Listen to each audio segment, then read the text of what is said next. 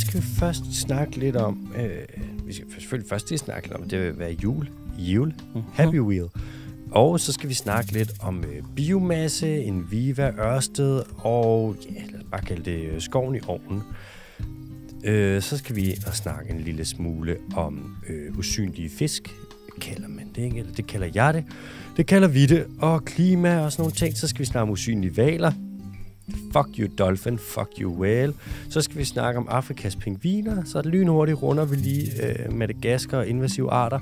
Og så kommer der hurtige nyheder. Der er to. Og så kommer der en quiz del Senor Bondo, og så kommer der et spørgsmål fra en lytter og en kommentar fra en lytter, og det er det. Let's go. Mathias Bondo, Kim, velkommen til. Jo, tak. Og velkommen til dig, Alexander. Må jeg have lov til at sige- en ting? Må jeg have lov til at sige øh, glædelig jul? Glædelig jul. Mærker du det? Ja, ja, ja en, en lille smule, men jeg er jo begyndt, kun- øh, begy- begyndt at kunne se det rundt omkring i, øh, hvad det hedder, i byen. Der er jo, øh, der er jo begyndt at komme, øh, der er begyndt at komme sådan lidt julekæder op, og sådan lidt lækkert. De begynder at hænge dem op nu. Ja. Elmegade er som, er som altid, øh, hvad der helt alene nærmest om at stå for julen på Nørrebro. Er det faktisk rigtigt? Der er ikke så julet på Nørrebro. Nej, det er ikke en juledel af byen. Det er lidt mærkeligt. Fuck deres dårlige indsats. Ja. Jeg ved ikke lige, jeg ved ikke lige, hvad fanden det skal til for. Og så er det jo også, det er lidt latterligt i år, at øh, første advent falder i, øh, i december. Så vi får øh, den fjerde advent på juleaften. Det er løgn. Det er dumt. Ej. Man plejer, man plejer at tage forskud på, øh, på glæderne i, øh, hvad der hedder, starten af, øh, i, start, eller i slutningen af, af november. Men det, det får vi ikke lov til i år. Til gengæld så, øh, så er det fucking koldt. Det er så bizart koldt. Det er så koldt. Altså, Det er så koldt. jeg ved ikke, om det er, fordi det også er fugtigt, eller hvad, men fuck, hvor er det koldt. Åh, oh, for helvede, mand. En lille, ja, det kan godt være, at det er en lille smule fugt eller et eller andet. Det er i hvert fald forfærdeligt. Jeg cyklede hen med, øh, med fuldstændig bare koteletter i dag. Nej, uden Oj. handsker på dine små hænder. Ja, ja. Jeg, jeg har formået at smide mine øh, handsker væk hen over weekenden. De er jo for Range, koster 450 kroner, og er slet ikke pengene værd. Det skal I bare lige vide på forhånd, hvis I, øh, hvis I tror, det var et sponsoreret segment, det her. Det er det ikke. det, det, det skulle næsten være et nyt segment. Uh, Ikke, Antispons. ikke spons. Ja. skal I bare lige vide. Dagens øh, ugens dårlige anmeldelse. Ja. Jeg havde jo faktisk noget på et tidspunkt, som vi kørte på vores øh, fællesblog, der hed øh, ugens etstjernede anmeldelse. Kan du huske det? ja, det glemmer jeg da aldrig. Du var for eksempel Blue Taco. Blue Taco. Hold kæft, mand. Ja, den var ikke populær. Nej, og det, øh, og det, var, og det var virkelig nogle hårde anmeldelser. Den, den grænsede til sexistisk og racistisk altid. Det, øh, Ved du hvad, det var på grænsen, det var ikke over grænsen. Så er det Nej. okay. hvad med dig? øhm, Hvad, hvordan står det til? Jamen, nu du nævner det med hænderne. Jeg har øh, cyklet over med, både jeg cyklede med luffer i går aftes, og jeg Mm. cyklede med handsker i dag, og begge gange, der oplevede det der, hvor at fingrene bliver så kolde, så når øh, de begynder at blive varme igen, så gør det ondt. Ja, er det stikker? Det der, hvor sådan, ja, der skal blod ud til, ah, fuck, det er så ubehageligt, altså. Ekstremiteterne. Ekstremiteterne. Mm. Øhm, men ellers så synes jeg, det går meget godt. Jeg har lige, øh, jeg har været en tur i Jørgen, Ja. det er oppe i Nordjylland. Mm. Har været ude at bade i Vesterhavet. Det, øh, har, de, har de en habit ligesom i Hirsals? Eller øh, er de ikke Øh, fine nok til det? Det er lidt, i Hirtshals, det er mere sådan øh, orange overalls-agtigt, ikke? Ja, ja, Nogle det- gange flyverdragten. Det er meget øh, nordkysten bare i Jylland. Ja, lige præcis. Ja. Øh, det er der hen af. Ja. Vi var ude et absolut romantisk lille sted, der hedder Lønstrup. Smukt. Tre drenge. Ja, på Ja. Café Slugten, tror jeg den hed. Mm. Café et eller andet. Ja. Ind og få nogle, faktisk nogle rigtig gode nachos. Nå, okay. Super god service. Var det nachososten? Øh, det var, det var cheddar. Okay. De har en masse okay. okay. ord op, som de bruger, som er sådan noget øh, øh, rigtig nordjysk. Ja. For eksempel, de har sådan deres eget, deres eget spiritus, som er sådan noget snapseagtigt, som hedder bjersk. En bjersk. Og så hedder en øh, refill, det hedder en potår. En potår. Ja. Ej, det er fedt. Og så siger Ej, ja, den, den må vi lige tage til København og få en potår. potår, skal du have en potår på den Skal du kaffe der? Hva? Kan man få potår på de shots her, eller Kan, du hvad? få, kan vi få en potår på? og så når det bliver sådan lidt, man kommer lidt ud på landet, og det bliver sådan lidt mere Ja. ja. small scale, ikke så storbyagtigt, ja. så folk siger jo hej, og når man var ude på en, i byen en aften, på hvad fanden hed den, postkassen eller sådan noget i Jørgen, Mm. Og så står jeg ude ved pissoiret på et tidspunkt, og så er der en gut, der siger til mig, hvad for et af citaterne er dit yndlings? Jeg var, sådan, jeg var virkelig, jeg tror, jeg havde en promille på to og en halv, jeg kunne næsten ikke se ud af øjnene. Mm. Så du var sådan, undskyld. ja, undskyld mig, for lort, Ja, med.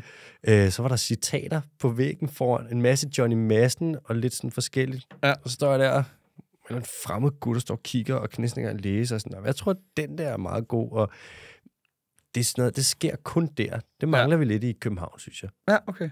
Det synes jeg ikke. Nej, jeg synes faktisk heller ikke. Jeg, jeg synes, det vi er tæt nok på hinanden. Ja, jeg synes faktisk, vi er for tæt på hinanden. Jamen, der er nogle gange, når man tænker, hvad fanden er det, de laver ovenpå, ikke? Mm. Og jeg gider sgu, så, så gider jeg ikke oven i købet også skulle snakke med dem. Nej, jeg godt føler, det bliver for meget. Det bliver simpelthen for meget. Vi Men- bor for tæt til, at vi gider hinanden. Ja, og man er sådan støvsurt med en sten. Ja. Ja. Eller hvad fuck er det, der foregår?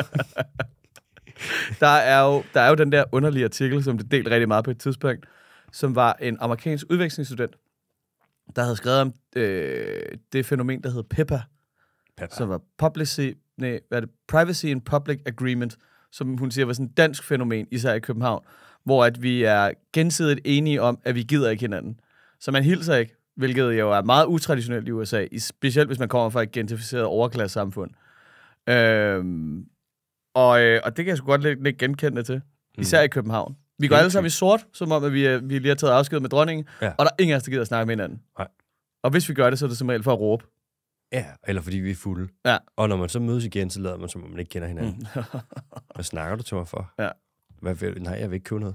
Noget, jeg, noget der til gengæld er, øhm, der er opmuntrende ved, når man lige kommer lidt ud i provinserne, det er jo at se, at øh, hvad der er dårlig cafémad, øh, den har den samme lave standard alle steder. Du får ikke hverken dårligere eller bedre cafémad nogen andre steder i hele landet. Det er bare det samme alle steder. Det er faktisk en sjov betragtning. Nachos er dårlige hele vejen rundt. Nu har du, så siger du, du har fået udmærket nachos.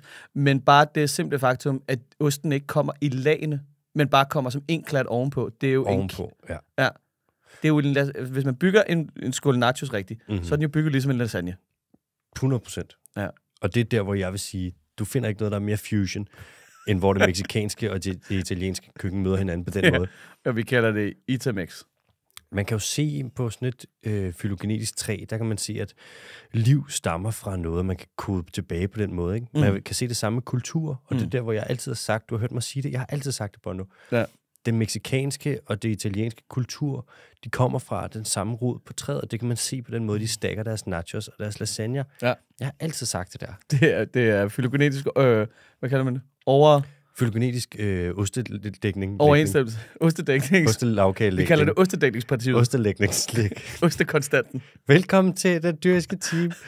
Kan du huske dengang på caféer, hvor man tænkte, nej, skal vi ikke proppe den her, hvad der hedder, burger patty ind i en ciabatta-bolle, Mm. og så ellers bare ødelægge ganerne på samtlige mennesker, der er herinde og spise? Det kan være så hårdt sådan noget brød. Uh, den er ikke god. Det er det eneste, der kan skære. Hvis du, altså, man bruger diamant til at skære i ting. Hvis. Mm. du skulle skære i diamant, tag skorpen for det der. Ja, ciabatta-bollen. Fu, fy for helvede. Uff. Hvordan gik det til... Øhm, vi, øh, vi kan jo godt løfte sløret for, at vi har lidt en sværvægter herinde i programmet. Det er et, øh, et program, der blev udgivet en gang til januar, Nå, det blev udgivet den 7. december. 7. december. Nå, i hvert fald, når det her er kommet ud, så kan I lytte til det på torsdag. Ja. Ja, Jamen, det er fordi, vi, vi leger lidt med tiden herinde i studiet. Øhm, øh, og det skal blive rigtig, rigtig spændende, og jeg kan godt glæde jer til, at øh, vi får besøg af hende. I samme ombæring, da vi havde hende inden, Mm. der øh, fandt vi jo ud af, at I skulle til nogenlunde sammenlignelige arrangementer. Ja. Du skulle til, du skulle til havets top-top-møde. Top, top, top, top, havet havsmøde. Ja, øh, Lars Løkke kom ikke, så det blev bare topmødet. Det blev bare et topmøde. Ja, top, top, det blev nej, ikke nej. Han har efter sine også rigtig, rigtig travlt med at øh, få hans øh, partimedlemmer til at lade være med at gå og være nogle fucking klammer der. Ja, det er fuldtidsarbejde. Ja, Og så, åbenbart. efter der har været en, en sag for nogle år siden, hvor der var noget, nogle kvoter og noget, så har han ikke været så glad for at snakke om fiskeri. Nej. Mm. Nej, af en eller anden mærkelig årsag. Hvem ved, hvad det kan være? Ja. Vi Kan kan, jo kun, vi kan jo kun gisne og kan, jo kun, altså, vi kan jo kun sprede rygter. Vi kan jo kun gisne om en kutter, som man siger. For helvede, mand. Var det Lykkefonden? Lykkedrengene? Nej, det var det godt nok ikke. Det var øh, politikken. Nej, nej, men det var da Lykkefonden, eller sådan noget, at pengene sådan lidt blev kanaliseret ind i og ud af, og noget med noget, og støtte, og Hvorfor sidder du der og insinuerer, at der skulle være sket noget, der ikke var fuldstændig øh, i, I overensstemmelse med reglerne? det er det er fordi, det relaterer sig til Lars Løkke. Han har det lidt med noget, noget biksbakserier. de der ting, ikke? Når du får den der konspiration, den der sølvpapirshat på, ikke? Men den er for egen regning. Jamen, det ved jeg. Ja, ja. Okay. Nå, ja, ja. Men, men du var derinde, og Magnus Heunicke, Magnus Heunicke, Den fucking undskyldning er en socialdemokrat. Han laver bare ikke andet end at sige, jeg ved det godt for helvede. han er... Åh, tænk at være i hans situation, mand. Ja. Socialdemokrat i regering med Venstre, og Mm. Venstre nummer to, Moderaterne, altså. Wow. Ja. Og så samtidig midt i en biodiversitetskrise. Mm. Mm. Held og lykke. Ja, hej hej. Det er ligesom at få, sådan, få to tændstikker, og så er der nogen, der siger sådan, kan du ikke lige lave Eiffeltårnet af dem der? Man kan sige, en ting, der er positivt nu ved, at de er gået i regeringen sammen, ikke? Mm. det er, at typisk har det jo været et mudderkasteri lige meget, hvordan det foregik. Altså, så er det sådan noget med, øh, nu, skal vi, nu har vi ikke råd til skattelettelser. Så, jamen, det er også, fordi I fører øh, hvad er der, dårlig socialistisk politik eller et eller andet. Ikke? Mm. Og, og også den anden vej. Altså, så er der noget, der har været uansvarligt eller et eller andet. Det er, du ved, liberalistiske kapgang til øh, jungletro. Jeg ved kraften ikke hvad. Øhm, men den her gang, de kan, jo ikke, de kan jo ikke slippe ud af den. De kan jo ikke mudderkaste på hinanden længere, fordi nu står de jo bare begge to i spidsen for verdens, eller nok Danmarks hidtil dårligste fiskeripolitik, og naturpolitik og miljøpolitik. Altså, de, de, har jo, de har jo skudt sig selv i foden, fordi de kan jo ikke gøre andet end nu at være prylknap for alle, øh, alle yderpartierne.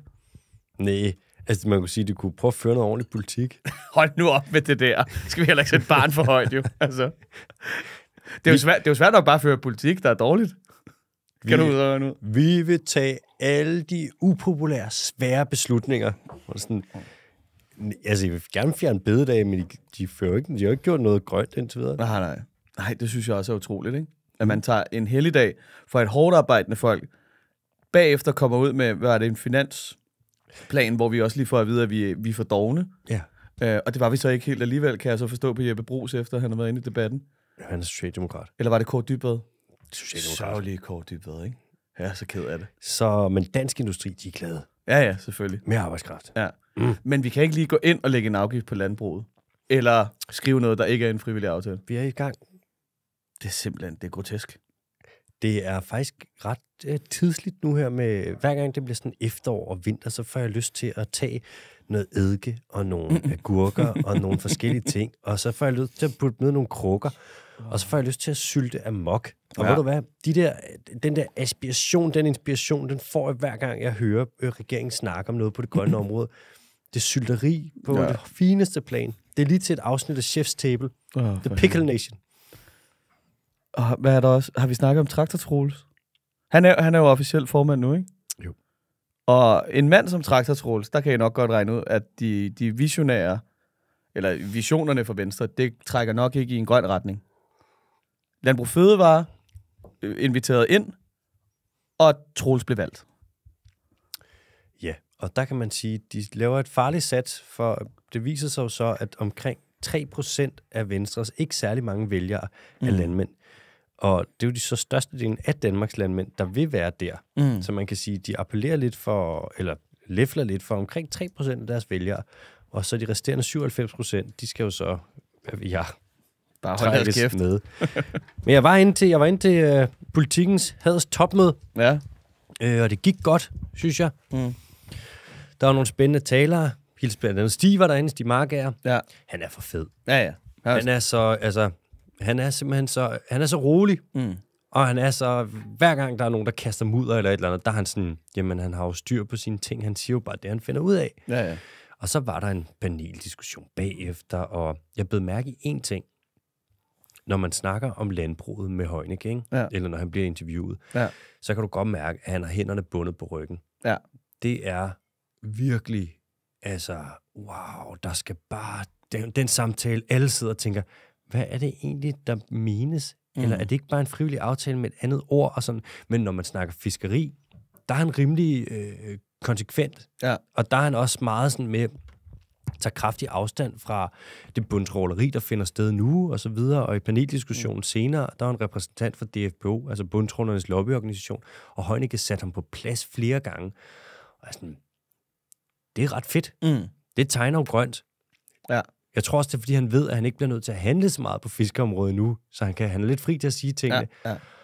Øh, og så må vi jo se, hvad der sker, når Fiskerikommissionen kommer med deres ting, som så kan ignoreres. Jeg synes jo bare, det kunne være sindssygt, hvis at der rent faktisk var noget, der udmundede sig i rent faktisk politik. Undskyld mig, vil du gerne have, at, der skal være, at vi skal have mindre ambitioner og så handling i stedet for? Nej, nej, okay. Nej. Det er også fint med ambitioner, ikke? Ja, jeg vil da personligt synes, det var nederen, hvis vi ikke var den ambitiøseste af de ambitiøse. Foreslår han noget med en kommission, man lige kunne nedsætte, så man kunne finde ud af, hvad der er galt. Den findes. Okay, den er allerede i gang. Fiskerikommissionen. Nej, ja, det skulle da rigtigt. Ja. Mm. Hold nu kæft, mand. Den findes. Nå, men kom der noget godt ud af det? Øh, kom du tættere på Højne? Fik du snakket med Højneke? Nej, men jeg prøvede heller ikke. Nej. Jeg vil gerne, jeg vil gerne have ham ind. Jeg vil også gerne have mand. Skud, skud ud. Vi skal nok få ham ind. Ja. Vi sender en mail. Jeg skal nok lige invitere manden. Jeg tror ikke, vi har mere. Tak for i dag. Det var dagens program. Bondo, godt du siger det, fordi uh, vi har en ordentlig svin af et program, og vi skal have et os igennem det, og mm. let's fucking go. Vi starter med øh, biomasse. Mm-hmm. Inviva og Ørsted. Øhm, I Danmark, der virker det nogle gange, som om vi opererer ud fra et ordsprog, der hedder skoven i ovnen. Øh, fordi vi er så sindssygt glade for at brænde træ. Skoven i ovnen. Skoven i ovnen. Vi er et af de lande i verden, der bruger allermest, hvis ikke det land i verden, der bruger allermest biomasse per indbygger. Det er fuldstændig vanvittigt så meget, vi har bygget vores infrastruktur op omkring at brænde skov. Mm. Og hvis man hører det, prøv at forestille dig, hvis der er nogen sådan, vi har helt øh, rent canvas, og vi sådan, man nedsætter et udvalg, lad os sige, vi mødes nogle gutter, og vi har verden til at dømme, og så skal man finde ud af, hvordan vil vi lave energi? Hvis der så er nogen, der siger, hvad med, at vi øh, brænder verdens skove, og så planter vi plantage, og så hver gang de vokser op til en vis størrelse, så fælder vi dem igen og brænder det på repeat. Er det ikke en meget god idé? Jo. Man vil jo tænke sådan... Eller nej. Ja, man vil være sådan, hvorfor hader du vind og sol så Ja, meget? ja. Øh, Kan du se min baghave? Lad os stikke ild til den. Lad os stikke ild til. Anyways, det er det, man gør i, i Danmark så. Ikke? Så er der så den her øh, biomasseproducent, som hedder Enviva. De er verdens største øh, biomasse-producer, eller det er dem, der laver allermest biomasse af alle virksomheder i verden. Og det er vigtigt at huske, at biomasse, det lyder jo meget sådan øh, grønt, fordi der er noget med biomasse, men det er bare træ. Mm. Altså, det er bare træ, og ofte så er det gammel skov. Øhm, Enviva, de får træet fra skove i det sydøstlige USA, altså noget omkring det bedste sted i hele verden, Florida. Og det er for eksempel også der, hvor at øh, som vi dækkede for, øh, havde noget med for ja, en del afsnit siden, den er afhængig af gammel skov, og den er lige uddød dernede, og så kan man jo se, om man kan lægge to og to sammen. Øh, Enviva har så nogle finansielle problemer nu her. Øh, og det ser faktisk lidt ud til, at øh, hvis det fortsætter, som det har gjort her på det seneste, så kommer de højst sandsynligt til at gå øh, konkurs. Og det er der nogle grunde til, men der er særligt to grunde, som er de primære først og fremmest. Break him down, brother. For det første, Enviva de siger, at de bruger restaffald fra øh, skovfældning til at lave de her træpiller, altså biomassen. Mm. Øh, men det passer ikke. Det er jo en undskyldning, som biomasseproducenter i hele verden bruger. Også i Danmark. Så det er, Og- ikke, øh, det er ikke, fordi de bare lige er ude og samle nogle grene op. Nej, det kan man ikke sige. Og Nej. det er ikke fordi, at man vil jo bruge tømmer til nogle ting, mm. til at producere hvad ved jeg, gulv og møbler og så videre, så videre, så videre. Men øhm, og konstruktion i det hele taget, bygninger. Og så siger de sådan, Nå, men så, er det, det er bare, så bruger man alt det gode træ, det bruger man til at bygge ting, og resten, det tager vi så bare, og øhm, det er det, vi brænder, det man ikke kan bruge alligevel. Mm. Det er det, de har kørt på i nogle år, og har sagt, og ligesom en undskyldning for, at de så skulle være grønne. Men så var der så en whistleblower, som har arbejdet ved en Viva, som tidligere i år, så kom han ud og siger, og nu citerer jeg, Virksomheden siger, at vi for det meste bruger affald som grene, trætoppe og, og affald til at lave træpiller. Mm. Second joke. Vi bruger 100% hele træer. Vi bruger næsten ikke noget affald. Pillernes tæthed er kritisk. Det får du fra hele træer, ikke skrammel. Øh, Nej, hvor er det også bare en stikkerlinje, han har ringet ind til, var Det dumme svin. han kom, og han har endda sådan, han kommer fra en rimelig høj stilling ved en Viva, og det har været sådan, Hvad fanden bilder han sig ind? Jamen, det er jo det med whistleblower. De vil jo bare lave ballade. Nu er det så sådan, at øh, affald, altså trætoppe og restprodukter, det er mere eller mindre gratis, men hvis du skal købe hele træer, så er det ret dyrt, fordi det er jo noget, som mange gerne vil have fat i, blandt andet tømmervirksomheder osv. Ikke? Øh, så der vil jo så være det med, at Enviva faktisk skal betale en del for det her, og det koster nogle penge, og så er det ikke så godt for deres økonomi. Mm. Øh, fordi der er konkurrence. Ikke? Så er der så det, at øh, Enviva de også satset på at arbejde med hårdt træ. Det kan for eksempel være egetræ eller bøg eller sådan noget. Ikke? Men nu er de skiftet over til at arbejde mere med nåletræ og fyr, altså guywood. Fordi det er billigere, og fordi det har en højere brandværdi. Det brænder skide godt, blandt andet. Vokser også lidt hurtigere, gør det ikke? Det kan vokse ja. fucking hurtigt. Ja. Øhm, og der er en masse harpiks i, som alle ved, hvis de har stået og krasset i noget fyrtræ. Det er også det, man kan lugte, ikke? Det smager dejligt. Ja, ja, det smager lækkert. Man kan jo lave, også lave te på nålene, hvis man har lyst til sådan noget Raps. Haps. Der er så bare én ting. Da Enviva, de har lavet de her fabrikker, hvor de fremstiller de her træpiller, altså der er mos, der tager du bare hele træstammer, og så hakker du lortet op og laver nogle træpiller, ikke? Bare kødhakker. Ja, det er en kødhakker til træ. Mm. Så har de jo så lavet dem til hårdt træ. De har ikke lavet dem til nåletræ. Og hvis man skal hakke meget nåletræ ud, så skal du bruge rustfrit stål. De har lavet dem Jeg kan godt se, hvor det her det er hen. Ja, de har lavet med noget, der hedder carbon steel. og de har så som sagt skiftet om fra det her hårdtræ, fordi det er billigere at købe noget af det her nåletræ, og det har en højere brandværdi. Men deres maskiner er altså ikke udstyret til det her. Og så i stedet for at skifte maskinerne ud og være sådan, alright, puh, vi er nødt til at trykke en ordentlig omgang pause og ligesom få det her fikset, fordi ellers så øh, går det ikke. Så har de lavet en masse lappeløsninger. Mm. Og de her lappeløsninger er blevet dyrere og mere besværlige, og dyrere og mere besværlige. Deres maskiner ruster mere og mere og mere. Øh, Øv, bøv. Ja, og det er jo sådan med lappeløsninger, som alle ved, der har prøvet med dem, at som oftest, så er det jo bare en lap, og de virker så ikke. Så nu er der store omkostninger for en Viva, og så er det så der, hvor aktierne begynder at falde, og så ruller lavinen ellers. Og så oven i det, så tror jeg ikke, det er så godt at øh, for deres økonomi, det her med, at de fangede den her kæmpe store greenwashing-skandale, mm. og har sagt, nej, vi bruger kun restprodukter og sådan noget. Og så kommer der en fra virksomheden og siger, gud gør I røv. Det er jo løgn. Der er også noget med, har vi ikke haft den her diskussion før, det der med, hvornår man definerer noget som affald eller restprodukt. At mm. så er der nogen, der vil sige, at hvis man bruger skinnet fra en, en ko, der alligevel skulle slagtes, så er det et affaldsprodukt. Det er det jo ikke. Ja, så vil man sige, Det er jo bare en udnyttelse af ressourcerne. Altså, så vil man sige, det er et biprodukt, ikke? det er profitmaksimering. Ja. Mere end det er affald, jo. Det eneste, der er, det er, jeg tror, at grænsen går ved affald. Det er enten gratis, eller så får du faktisk penge for at tage det. Okay. For der er ikke nogen, der kan bruge det. Nej. Øh, hvor man kan sige, læder, det kan du sgu tjene gode penge på. Mm. Så det er sådan lidt, Den er lidt tricky, ikke? jo, men det er også det, den klassiske. Hvis vi, tog, hvis vi tog nu til en eller anden debat, sådan noget landbrugs, whatever, og snakkede sojaskrå, mm.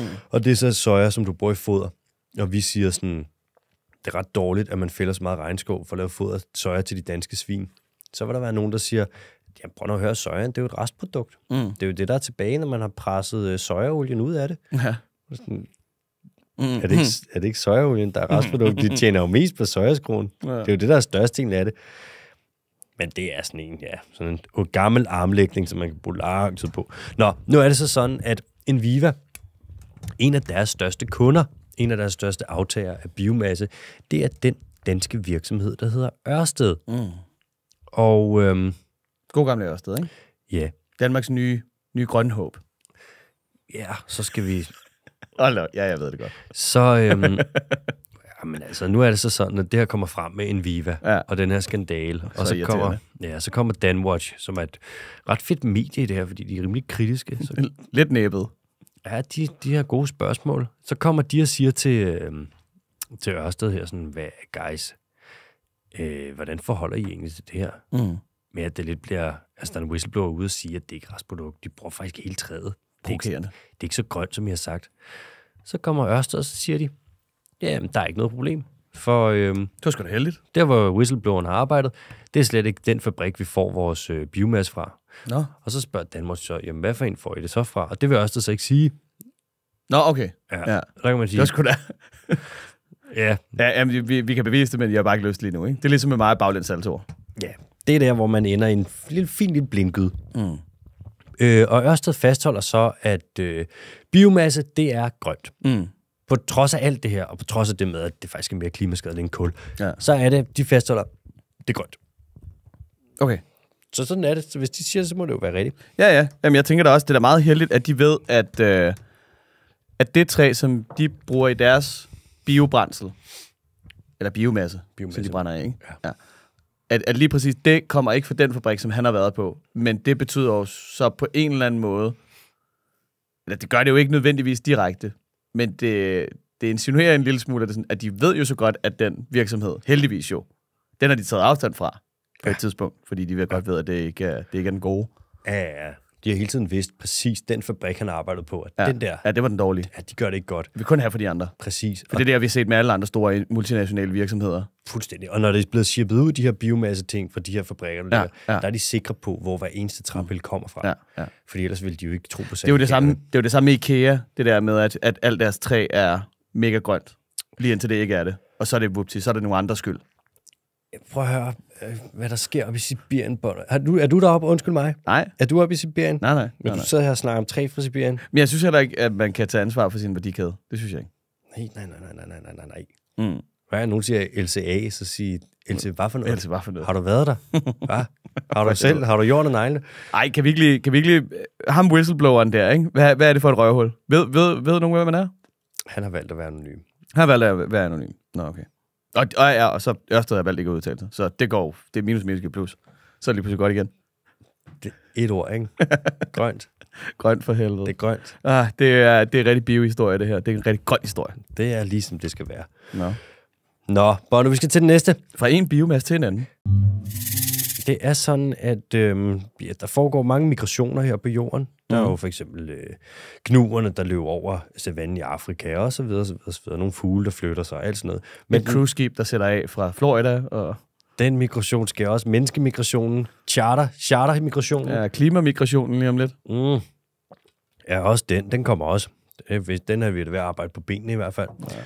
Ja. Øh, men den største migration af alle sammen, det er en, der foregår hver eneste dag. Mm. Hvad fanden er det, den hedder? Hedder det Kiels, eller Piels, eller Tiels? Øh, vertikale migration. Er det det i havet, hvor at det flytter sig op og ned? Yes.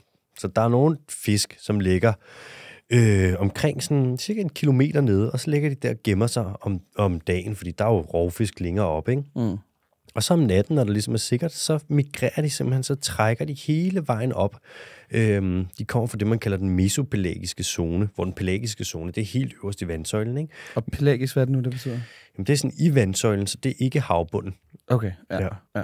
Øhm, og man er ikke sikker på, hvor meget fisk, eller hvor mange fisk, det ligesom er, der trækker op, men man har vidst øh, i lang tid, at der var ekstremt mange. Der var en, nogle gutter ude i omkring, jeg tror det er 1943, ud for øh, Kaliforniens kyst, og scanne efter sådan noget med øh, ubåde i forbindelse med 2. verdenskrig. Mm. Og så kunne de se, at deres ekolod, det ramte noget, der lignede havbunden ekstremt meget hver eneste dag. Altså på grund af tætheden af... Øh... Præcis, Ja. det var så tæt, så det lignede havbund. Okay. Og de var sådan, hvad fuck er det her? Mm. Altså, og så har man senere fundet ud af, der kunne man ikke undersøge det mere, fordi altså, man havde nogle andre ting, man skulle holde øje med. Ikke? Der var lige noget at bakse med. der var noget baks, men der var en lille krig, der lige skulle overstås.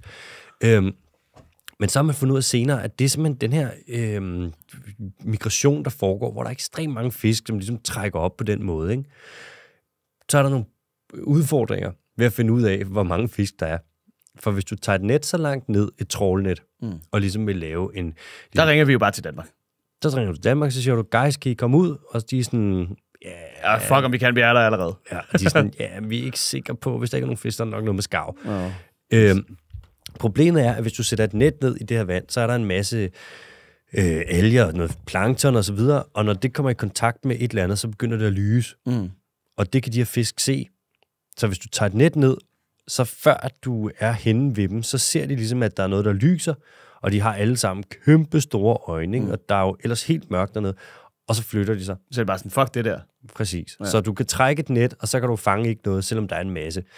Og der har man så opdaget og været sådan, ah, det er lidt en udfordring. Det må have været lidt, øh, det må have været lidt nøjere, det der med, at man bare lige sender et net ned. Mm. Og at man kan se, at der er en masse dernede, men man får ikke noget op. Præcis. Og man er sådan, hvor fuck, hvordan ved de det? Mm. Og vi jo, har jo ikke været nede og kigge før for nylig, så vi har jo ikke vidst, hvad der foregik. Mm. Det er også det, der er, vi Skyder skyder nogle sådan, gange, hvor kæmpestort det fucking hav er. ja, hvor dybt det er. Ja. Øh, og det er ret svært at komme ned på en kilometers dybde. Ja. Og hvis du skal have ekspeditionerne ned, er det fucking dyrt. Mm. Det er ægte dyrt. Ja, der var, lige en, øh, der var lige en historie op at vende for nylig omkring det. Mm. Hvor svært det er at bare lige dykke derned. Hvad er det for en? Det var ham der idioten Nå der. ja, der var det der, der... Ham, der styrede sin ubåd med en Xbox-controller og alt muligt pis. Altså. Gjorde han det? Ja, ja. Jamen, det var helt dumt. De fandt, nej, det var en Logitech eller et eller andet, ikke? Og ikke fordi der er noget galt med Logitech, men jeg vil altså ikke sætte min, øh, mit rumfartøjs lid til, øh, hvad det hedder, et fucking joystick, jeg havde købt på internettet. What the fuck? Ja, ja. Og alle de der principper, som jeg havde bygget det ud fra, det, alle eksperter bare ude og sige, det der, John, det skal du stoppe med. Problemet er også, der er så højt tryk. så altså selv, det er jo ikke, fordi du drukner. Du bliver most. Ja, ja. Men jamen, det, man kan jo mærke, altså legit, hvis du bare stiller dig i en svømmepøl, du kan jo mærke det, når du trækker vejret, bare du kommer altså en halv meter ned under vandet. Ja. Du kan mærke Gud med et par øh, vaders, mm. Og så kan du mærke, hvordan det begynder bare at Uh. kramme dig. Ikke? Jo, jo. Så forestil dig, at du er ned. Det, der er virkelig meget smæk på det tryk der. Nå, Nu ved man ved så ikke præcis, hvor mange der er, men man ved, at der er ekstremt mange, fordi man kan se, nogle, der er nogle indikatorer på det, ekolod og så videre. Og man lurer på, at det nok er størstedelen af alle verdens fisk, der faktisk er i den her migration og i det her mesopelagiske øh, niveau. Ikke?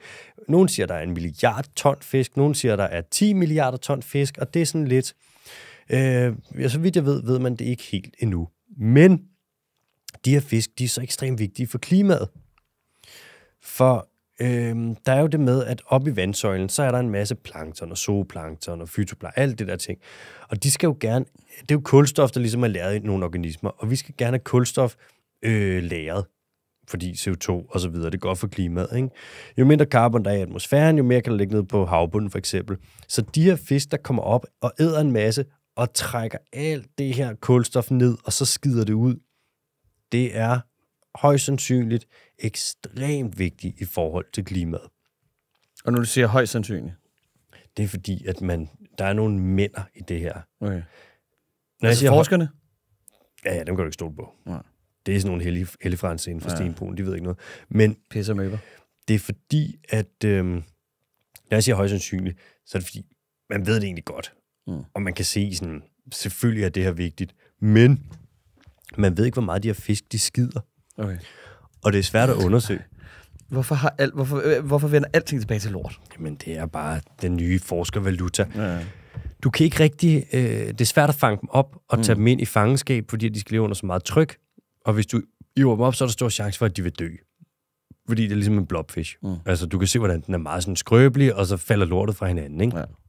Så det der med, og, og du kan ikke tage ned og kigge på dem, mens de er derude i deres naturlige miljø, øh, økosystem, fordi sådan, for den, så skal du følge efter en eller anden fisk, indtil den skider.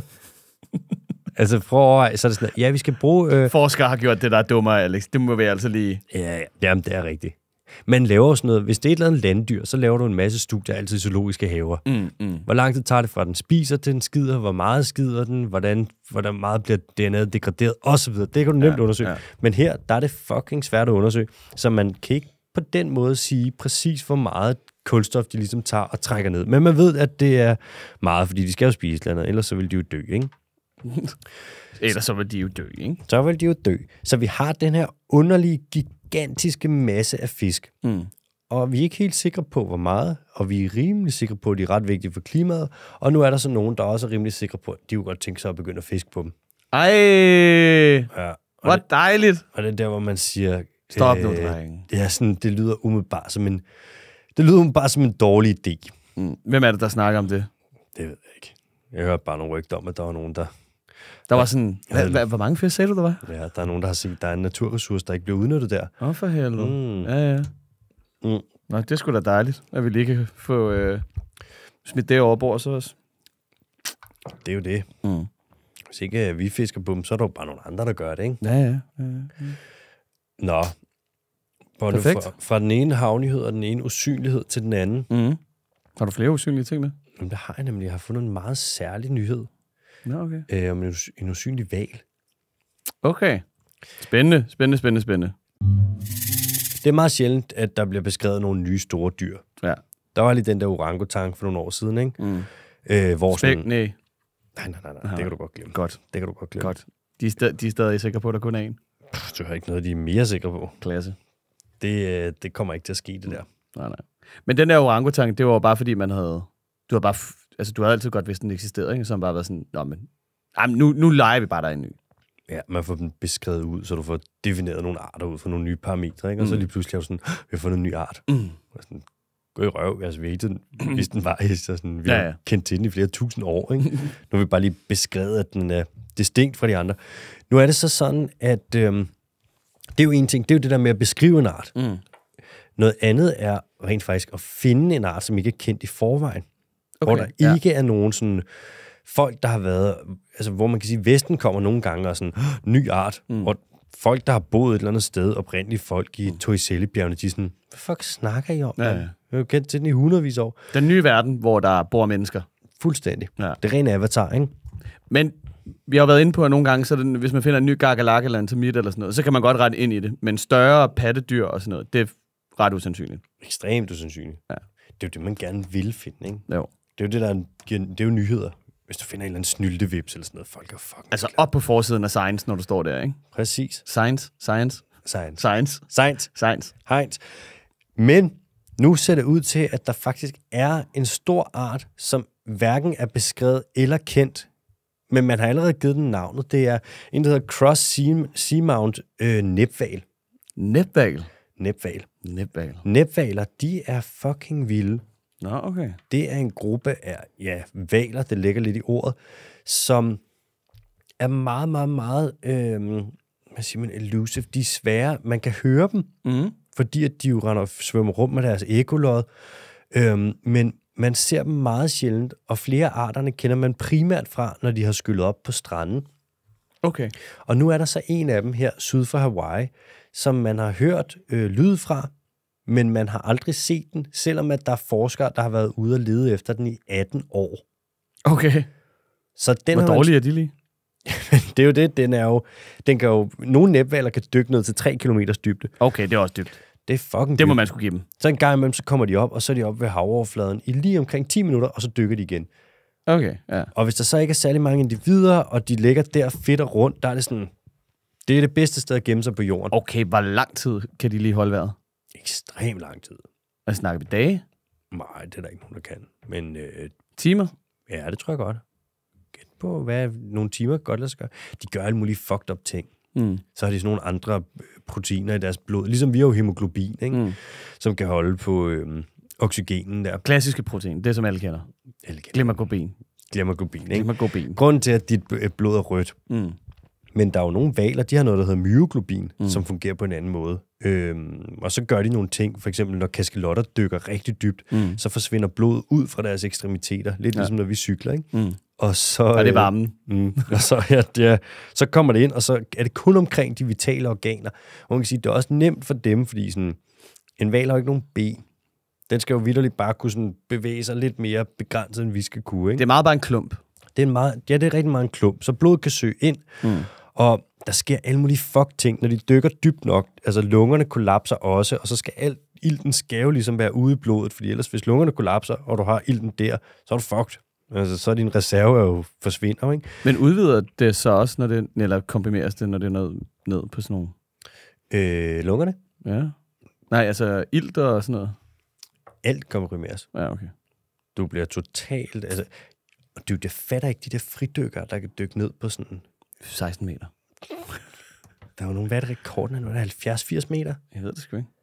Det må være fuldstændig... Prøv at tænke på at finde ud af, at man kan det.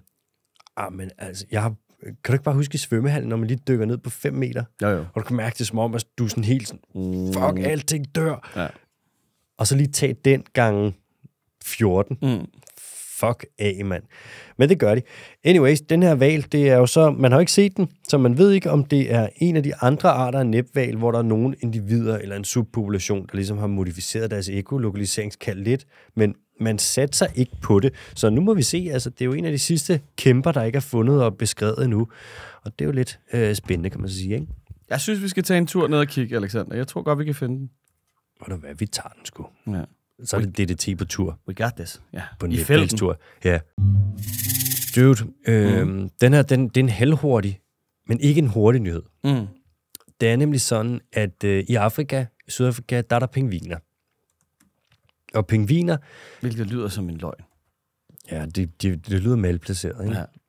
Pingvinen er jo faktisk øh, halv fisk og halv fugl. Okay, så ser vi det. Det var næsten på den. Øh, nede i Sydafrika, der er de her øh, pingviner, de har det ret stramt. Ja. og bestanden svinder ind. Mm. Og man er ikke helt sikker på, hvorfor.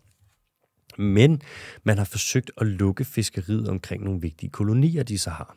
Så har du sagt, øh, inden for 20 km radius af de her kolonier, der må man ikke fiske øh, for meget. Der er nogle begrænsninger på fiskeriet, og det man primært fisker efter, det er så øh, ansjos og sardiner og den slags. Mm. Alt det, du kan få på dåse på din lokale naturvinsbar. Det er faktisk ikke engang løgn. Ja. Alt det, det, er, det er noget af det, jeg kigger på, hvor jeg tænker allermest sådan, fuck, hvor ser det lækkert ud. Mm-hmm. Uden egentlig at have lyst til at spise det. Nå, ja, men jeg har overhovedet ikke lyst til at spise det. Du kan heller ikke så godt lide Jamen, fisk. der er noget med dåsemad og sådan noget. Der er bare nogle ting, som jeg ikke kan med. Jamen, sådan en god dåse bønner. God deres bønner, det er helt fint. Jo, jo, jo, jo, det lugter slet ikke lige så meget af prut og, og ulækkerskab. Men der er et eller andet med at åbne sådan en sardin, og så bare kigge på en lille bitte fisk, hvor man spiser det hele, og det ligger i noget olie, og man, der er noget uidentificerbart, og det stinker. Og... Men jeg har noget med fisk, jo. Og du har aldrig været så fiskeglad. Nej, det har jeg godt ikke. Ligesom ost, det er du heller ikke så meget til. Nej, det er jeg heller ikke. Mm. Det, hvis det lugter mærkeligt, så gider jeg ikke spise det. Nej. Det er derfor, jeg elsker, elsker øh, hvad der er popcorn. Dufter godt, smager godt. Slut. Popcorn er bare ikke rigtig mad. af Det. Men kan det være katte? Jeg synes ikke, jeg har aldrig været så meget til det. Nå, nu har man så ja, sagt til fiskeriet sådan, prøv at høre, guys, I må ikke fiske så meget her omkring. Øh, og fiskerne er selvfølgelig ikke glade, fordi de her kolonier ligger ved nogle rigtig gode fiskespots. Ja. Og man lurer lidt på, de her pingviner, kan det være katte, der kommer og tager dem? Kan det være sælerne? Fordi man ser sæler, der kommer op på stranden og spiser pingviner. Kan mm. det være dem? Hvad fuck kan det være? Skal man bare skyde sælerne, eller hvad? Jeg kan ikke lade være med at tænke, Er der en skav? er der en skav her? Prøv at overveje her. At på det her, det her, der gør de simpelthen det, at okay, sælerne, de ser ud til at kæmpe lidt, eller øh, pingvinerne ser ud til at kæmpe lidt, og så siger man til fiskerne, guys, I bliver nødt til lige at begrænse det lidt, ikke? Mm. I Danmark, hvis der ikke er så mange fisk eller noget, så i stedet for, at man begrænser fiskerne, så siger man, når fint, så skyder vi da bare fugle. Mm. Så skal vi da bare have skudt skaverne, ikke? Det er en meget vendt på hovedet måde, de gør det her. Også fordi det ser faktisk ikke ud til at virke særlig meget, det her med at begrænse fiskeriet. Har man... Øh... Nå, okay. Nå, øh. Nej. Og jeg vil også sige, ved du hvad, jeg tror, det kan skyldes. Nej. Man har pålagt fiskerne, at de ikke må fiske her. Mm. Der er en ting, der virker altid, som de ikke har taget i brug. Ja, det er en frivillig aftale. Der er ikke noget frivillighed her. Nej, nej, det tænker jeg også. Det mangler vi Og- lidt. Ja, det er ligesom at lave en, en suppe uden væske, ikke? Mm. Altså, come on. Hvordan stod det egentlig til, apropos lidt frivillige aftaler og sådan noget, med alle de der kameraer, man lige fik sat op på, en, på nogle både, og så gik tingene lige pludselig rigtig godt med at selvrapportere al ens øh, bifangst. Ja, hvordan fanden var det? det? Er der kommet en opfølgning på det? Mm, Jeg synes bare, det var så grineren, at man havde nævnyttigheden til at gå ud og sige, at man synes, det skulle være frivilligt. Fra Dansk Fiskeriforenings side, eller er Dansk Fiskelobby. Ja, hvordan fanden er det nu? Det er nu. Den skulle revideres, den der i oktober, og det mm. er vi jo Mm. forbi nu. Mm. Jeg tror, at det er... Jeg tror, det er blevet frivilligt, om man vil have dem på. Okay. Det er det med, at man satte en masse... Du har... Du satte en... Øh, Ja, det var DTU, der ligesom lavede en undersøgelse, ikke? øh, Var det ikke det? Jo, jeg tror, de har været med ind over, hvordan fanden var det? Summa summarum. Man tog nogle både, og så øh, registrerede man noget selvrapportering i forhold til bifangst på både, der var videoovervåget, og både, både der ikke var videoovervåget. Og der var en diskrepans på omkring en, hvad er det, 1000 procent eller sådan noget. Jeg tror 1500 procent. Ja. Det er det med, hvis du har... Det er jomfruhummer ude i øh, Kattegat. Ja. De øh, må ikke fange så mange torsk, fordi at torsken, det er jo helt fisket i bund, ikke? God damn. Mm. Og så har man det, det der, hvor du vil sige, torsken er det, du kalder en choke species. Så ja. de har en bifangskvote. Så den siger, kald mig daddy, inden man går i gang. Ja, lige præcis. Så får den en flad. Øh, de, de har en bifangskvote, så de må kun fange x ton torsk. Det vil sige, at de kan fange jomfruhummer, og der kan de bare fiske løs, men på et tidspunkt, så har de fået så meget bifangst af torsk, så de bliver nødt til at stoppe, fordi de må ikke fange mere. Mm. Og det er jo lidt irriterende. Det er der, hvor man vil sige, så kvæler torsken jo jomfruhummerfiskeriet, fordi at ja. torsken vil fange som bifangst. Øh, og så har man så sat øh, kameraer på de her både, Ja. og så kan du se, at efter du har sat øh, kamera på de her jomfruhummerfiskerbåde, så lige pludselig, så stiger bifangsten med ja, omkring de her 1500 procent. Mm. Og det er jo irriterende. Ja. Fordi at man kan sige, har du nogensinde følt dig forstyrret af at blive øh, overvåget, når du har arbejdet som tjener på steder, hvor der har været kamera? Ja, ekstremt meget. Det, det har da været totalt ubehageligt at vide, at hvis der skete noget, som var ulovligt, så, øh, så kunne man dokumentere det. Ja, ikke? Jo. Ja, altså, altså hver gang jeg har haft lyst til at stjæle fra kassen, der har jeg tænkt, fuck, hvor er det irriterende. Ja. Og det er det samme, som øh, de her bundtrålere render rundt med. Altså, det så er, dumt, det er ulideligt at blive overvåget. Ja. Men øh, jeg tror heldigvis, det bliver frivilligt nu. Men jeg forstår bare ikke, hvis man nu går til den tidligere justitsminister, ikke? Ja. Nick Hækkerup. Mm. Altså, mere overvågning betyder mere frihed. Så mm. sæt fiskerne fri. Sæt dem fri. Sæt mand. fiskerne fri. Drop Nick den der- Hækkerup. Drop kontrollen. Bare slip dem fri. Ølpusher. Slip dem nu fri. Slip den nu fri. Han er for vild, mand. Han er sådan en idiot. Bondo, nu gør jeg lige noget frægt, og så skubber jeg lige den her med Madagaskar invasive arter, den rykker vi til næste uge. Mm? For ellers så bliver det simpelthen et for langt program. Ja. Og så Ja, hopper vi til Der de kommer hurtige- også noget skinkegate i næste uge, gør det ikke? Jo, det gør der højst sandsynligt, fordi der falder jo... Der, hvordan fanden er det nu, den er færdig? Det tror jeg, der gør. Ja. Det tror jeg, der gør. Ja, en lille teaser. En lille, en lille Vi ses teaser. næste uge til Skinkegate. Ja, hej, tak for i dag. Så hopper vi til de hurtige nyheder, Ja, tak. og øh, først skal vi til Bolivia. Mm. Og prøv at se, hvor hurtigt jeg kan lave den her nyhed. Mm. Regnskovsfældningen stikker fuldstændig af i Bolivia, fordi deres præsident, han klarer det helt af fucking helvedes til, i det, at han overhovedet ikke prøver at begrænse regnskovsfældningen. Og den er simpelthen, den har nærmest aldrig været højere, og det er pisse ærgerligt, fordi de har noget super fin regnskov. Og næste hurtige nyhed, der skal vi lidt nordpå for at blive. Vi skal til øh, Brasilien. Og i Brasilien, der kan man se i Cerradoen, i noget lav, at der er altså øh, glyfosat. Mm. Og glyfosat, det er jo det, vi også kender som Roundup. Og det viser sig så, at noget af det her Roundup, som man pisser rundt ude på markerne, det faktisk ender ude i naturen og ødelægger de planter, der er der, som så ikke kan tåle det her plantegift, man spreder ud. Og der er det da skide godt, vi lige har forlænget, øhm, hvad siger man, tilladelsen til at bruge øh, Roundup i Europa mm. med 10 år. Tak til Heunicke for det. Men man kan jo vælge at lade være, jo. Altså, de kan jo bare vælge at lade være. Altså, du siger, det beror på frivillighed? Ja, der. Ja, ja. ja. ja det er skide godt. Glyfosat og Roundup. Lad os da bare blive ved med at peste ud i undergrunden. Hvad sker der? Hvad kunne der ske? Hvad kunne der ske? Hvad kunne der ske? Ja, det er jo lidt, der ikke er nogen, der har undersøgt det. Øh, skal vi til en quiz? Jeg har, øh, jeg har taget en, øh, jeg har taget en lyd med. Igen. Fordi at, øh, det, vi- vi skal veksle lidt imellem. Der er også nogle gange, det bliver for åbenløst og sådan noget, og så er det lidt svært at finde en ting. Øh, den her uge, hvis den virker øh, bevidst vag, så er det fordi, at øh, det er den lidt med vilje. Åh, oh, oh. Så nu må du se, hvad du kan få ud af de små ledetråde. Du får ikke flere. Men nu, nu får vi lige en led. En, en lille hurtig led.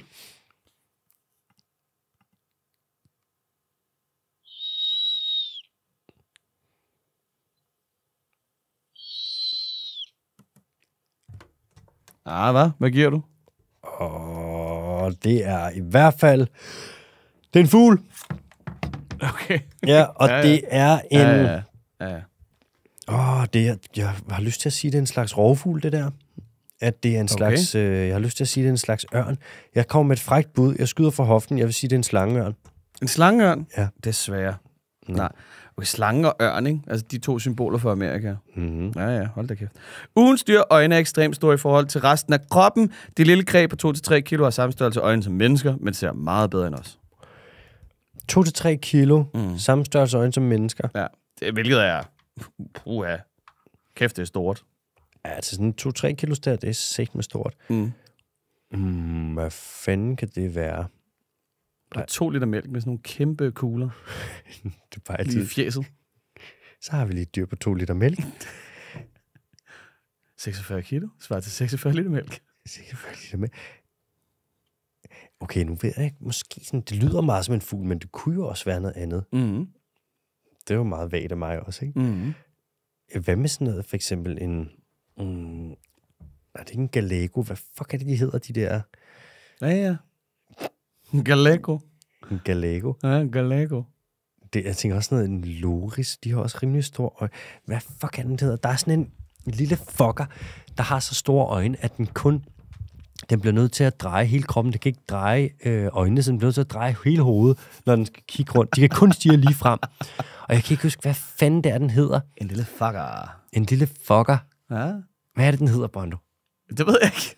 Nå, så er det ikke den. Mm, er det en slags... Kan det kan også være sådan en... Er det en putu? En putu. Nej, det er desværre ikke. Ugens dyr befinder sig i... Øh... Nej, undskyld. Det var, det var en helt anden ledetråd. Vi var over i hundefamilien lige pludselig. Det kan, det kan jeg lige løfte sløret for. Det er det ikke. Øhm, ugens dyr bliver lige omtrent øh, 60 cm langt og er et klassisk flyvende rovdyr. 60 cm langt. Mm. Og- 2-3 kilo. 2-3 kilo flyvende, Flyvende rovdyr. røvdyr. Okay, det er i hvert fald ikke en flagermus. Øh, flædermaus. En flagermaus. Og jeg havde ret i starten. Det er jo en slags rovfugl. Så pattedyr, det, det er udelukket. ja, Jeg synes, det var godt, vi lige tog en detur. vi laver det. Men øh, vi var lige- var med på et eventyr. Vi tager kun dit... Altså, hvis den her podcast, det var en motorvej, ikke, så ville det kun være de der, man var kører ud på, når du kørt forkert. Det er en 16-sporet i USA, det her. ja, præcis det der. Okay, en rov. Ej, jeg synes, vi er blevet bedre til at holde os på, øh, på sporet. Det, Det er... Okay, du? 2-3 kilo, og hvor høj? Var 60 cm høj? 60 cm høj. Det. Ved du hvad? Du får sgu lige en ekstra. Halvanden meter i øh, væggenfang. Hvad? det er ikke musvågen, vel? Musvågen. Nej, den lyder ikke sådan der. Nej. Den har også... Dens øjne er mindre. Ja. En lille, lille bitte musvågen. 60 cm høj, men det er faktisk ikke... Det er cirka... En musvåge er omkring en halv meter, så det er en lille bitte smule større end en musvåge. Mm. Vingefang er også en lille smule større. Mm. Det er ikke en havørn, for den er meget større. Ja. Det er ikke en kongeørn, vel? Nej. Nej, nej, nej, nej. Nej, den vejer også mere. 2-3 kilo. Jeg ved- jeg ved- rovfugl. Jeg ved ikke, om det her det hjælper noget, men det, jeg synes, det var et, et, et lille sjovt stykke fakta.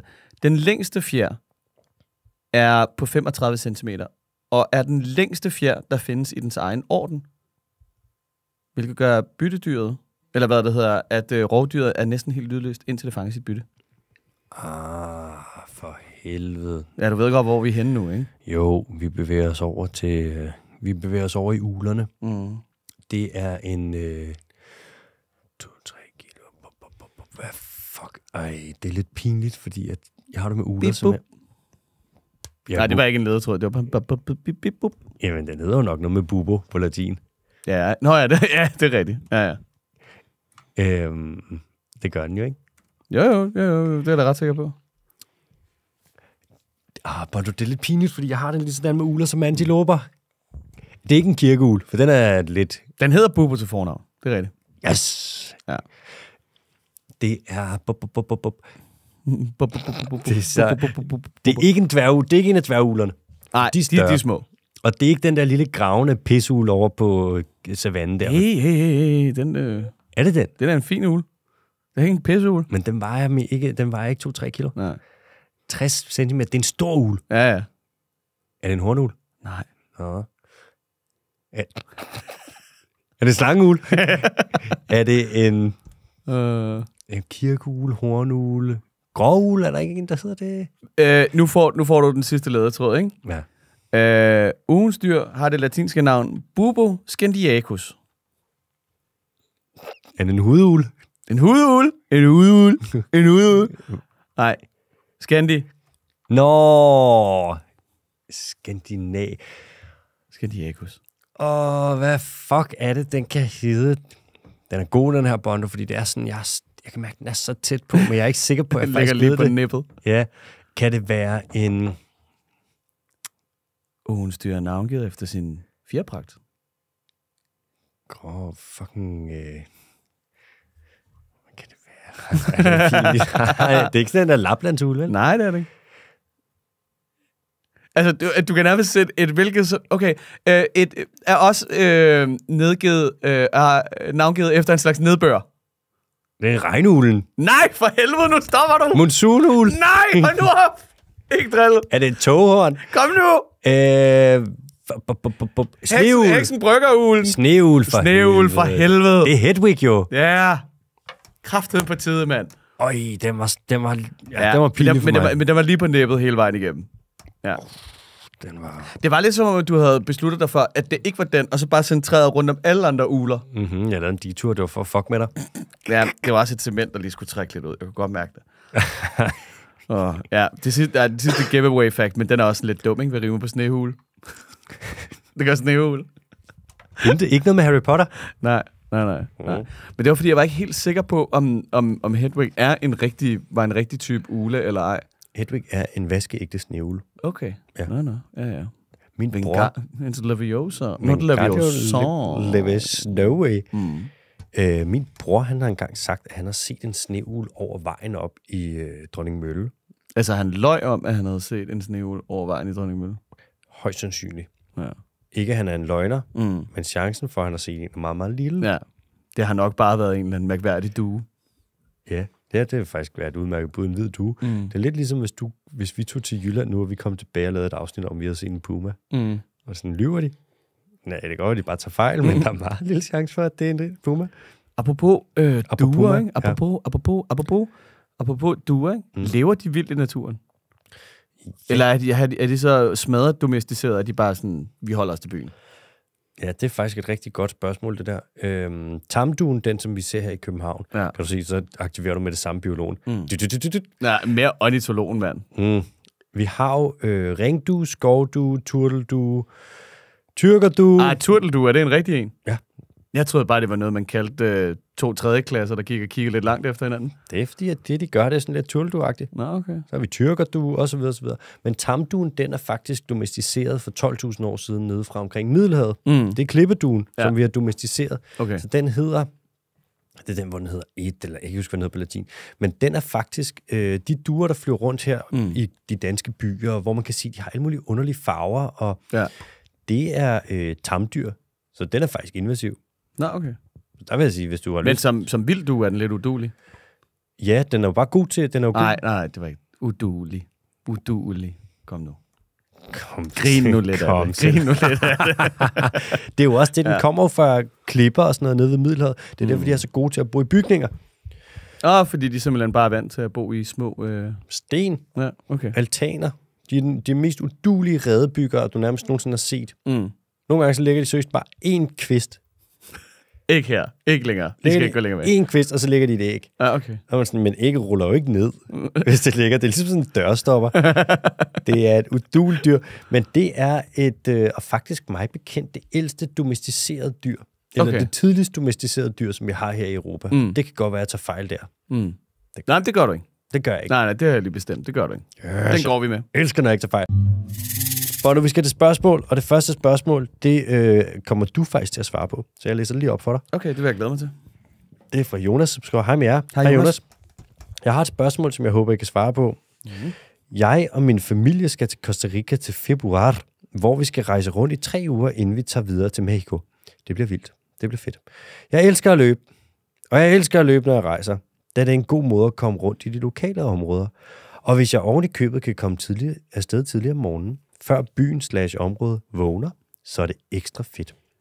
Her kommer mit spørgsmål. Mm. Er det sikkert at løbe i Costa Rica? Skal jeg være bange for pumaer, jaguarer, vilde hunde eller andre dyr, når, hvis jeg løber afsted? Eller er dyrene sky og bange for mennesker, så jeg faktisk skal være heldig, hvis jeg ser dem? Jeg vil meget nødig lyde som jeres modpart i ulvedebatten, men jeg vil også gerne sikkert hjem til min, øh, fra min løbetur. Jeg tænker ikke, at jeg som sådan løber ind i junglen, og slet ikke, når det er mørkt.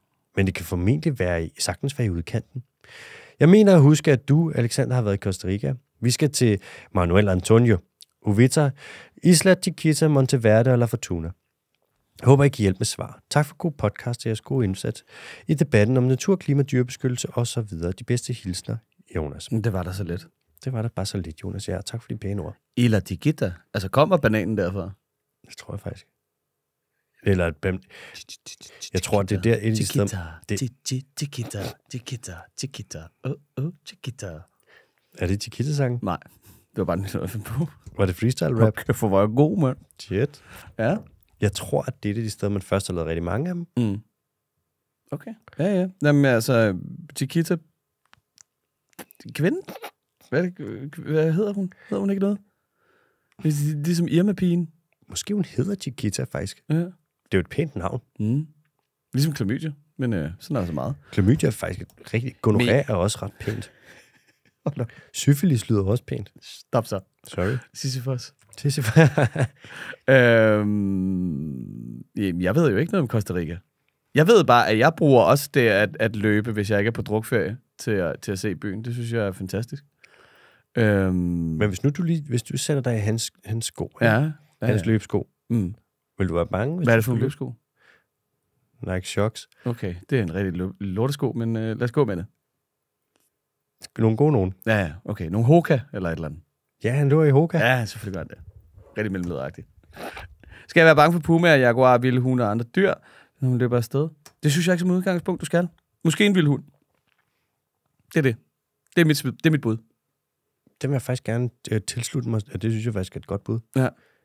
Jaguar, det kommer man ikke til at se. Mm. Både fordi der er meget få af dem i Costa Rica, hvis overhovedet nogen. Mm.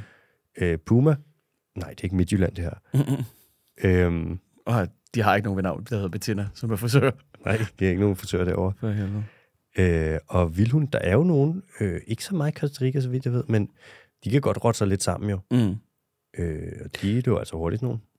Men at de fleste af sådan nogle rovdyr, de er da heller ikke interesseret i, hvor, altså være, hvor der er meget aktivitet, menneskeaktivitet, er de? Nej, nej, nej, nej, nej. De hedder det.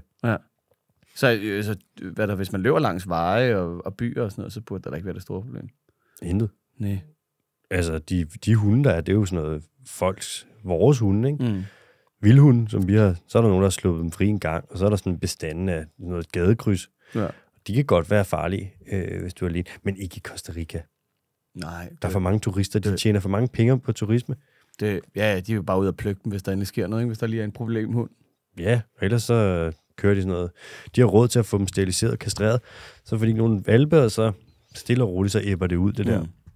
Så nej, jeg vil sgu, det jeg vil være mest bange for faktisk, nej, ikke engang, ikke i Costa Rica. Det er meget, det er meget, meget, meget sikkert i Costa Rica. Mm. Næsten alle steder. Og der er så mange turister. Ja. Det er lidt som en amerikansk stat. Ja, ja, det Der er det ikke ligesom Puerto Rico. Puerto Rico. Jeg ved ikke, om jeg er sikkert, men det er da også en halvamerikansk stat, er det ikke? Er det ikke en amerikansk stat? Er det, er det amerikansk stat? Eller er det sådan lidt, øh, er, har vi sådan lidt Grønland-forhold til det, sådan lidt blokpolitik og... Ja, er det derovre, vi er? Jeg tror, der er noget med Puerto Rico, det er en amerikansk stat. Okay. Så i Costa Rica, der ligger Puerto Viejo, Mm. som så er en øh, minder om en amerikansk stat. Det ved jeg ikke noget. Jeg ved heller ikke noget. Så. Men var det ikke derfor, at øh, Donald Trump han var dernede og udtalte sig om alt muligt idiotisk? Puerto Rico. Det skulle godt være, det så jeg ikke. Shithole countries. Jamen, han er, han er, øh, det er ærgerligt, at han er politiker og ikke bare vært i et eller andet program. Det ville sgu være sjovt. Ja, ja. Prøv at forestille dig et eller andet program, hvor man øh, var der kom ind og lærer at drive forretning. Dude, jeg vil, altså hvis der var et program, eller hvis det var et madlavningsprogram med ham som vært, Ja. Jeg vil se det. Det var ekstremt underholdende jo. Helt sindssygt. og man vil tænke sådan, You, godt, got, a, you got a dog wife, godt, du ikke har noget ansvar. øh, men jeg vil umiddelbart sige, Jonas, øh, fyr den af og øh, nyd turen. Og jeg, jeg har meget sjældent været utryg, når jeg har været afsted, både i Costa Rica, Nicaragua, alle de der steder. Mm. Men hvis man løber om aftenen, og der er hunden, øh, Så løb hurtigt. ja, eller tag en pind, og så øh, hjemme lidt ved. Det prøvede jeg faktisk en gang i Guatemala, Ja. hvor jeg skulle op og besøge nogen en aften. Øh, og så kom der lige pludselig, så var der nogle hunde, der løber rundt. Og lige Mm. pludselig tror jeg, der var en 15-20 hunde. Sådan en flok, der bare lidt følger efter mig og Ja. gør. Og sådan. Det var sgu nøjeren. Men øh, jeg sidder her sgu da stadig den dag i dag, så hvor farligt var det lige? Ellers så vil jeg foreslå, Jonas, øh, gå ind på, øh, på Strava, og hvis du er hvis du, hvis du er en af de betalte medlemmer, så er jeg ret sikker på, at du bare kan se, øh, hvor andre løber ruter. Og jeg vil umiddelbart tro, at hvis der er andre, der løber der, så er det nogenlunde sikkert. Det der, det var et godt tip. Ja. Og, ved, og når I skal til Mexico, så øh, gør man lige en tjeneste, Jonas, og øh, nyd det. Mm. Og husk at købe en masse god chili med hjem. De har det bedste chili i verden. Jeg var lige og købe chili sauce i dag. Mm. Mexikansk. Der er yucateo og valentina sauce. Åh, oh, baby, det bliver en god december. Ja. Nå, Og øh, Ja. må jeg tage den næste, for jeg kan se, at der er kommet en lytterløgn ind. øh, Vi har fået en lytterløgn fra Karl Emil. Hej Karl Emil. hej Karl Emil. Afsnit 83, tid 29.30, laver du den største brøler siden Højne blive indsat som miljøminister. Ja, det, det er din holdning til tingene, kan man jo så sige, ikke? Ja, det er din holdning. Øh, trekantsområdet er fandme ikke Esbjerg, Aalborg eller Aarhus. Det er Kolding, Vejle og Middelfart. Og det er igen din holdning. Det er igen, der vil jeg gerne tilslutte mig Bondo her og sige, den må du sidde med, Karl Emil. Ja, den kan du lige gå på weekend med, eller starte din uge med. Og så øh, ellers bare, øh, ja, lad være med at sprede løgn. Og prøv at høre, Karl Emil, vi har lige et lille, lille tip her fra podcasten. Mm. Prøv lige at gå ind på et kort, og så prøv at tage og spot Esbjerg, Aalborg, Aarhus. Og så prøv lige at tegne en streg imellem de tre. Og hvis det, du ender op med, det ikke er en trekant, ja, så ved jeg kraftedme da ikke, hvad det er, du ender op med. Og du fortæller også, at det ikke er et trekantsområde, når der er en, en trekant. Ja, undskyld mig, men det er da simpelthen... Det er tudetosset, det der. Det er tudetosset. Det er tudetosset. Hvad det hedder, øh, jeg har ikke så meget mere på programmet, Jeg er tænker jeg. Nej, okay. Nu skal vi bare sige tak for den her gang. Vi siger tak for den her gang. Vi ses på næste mandag. Farvel.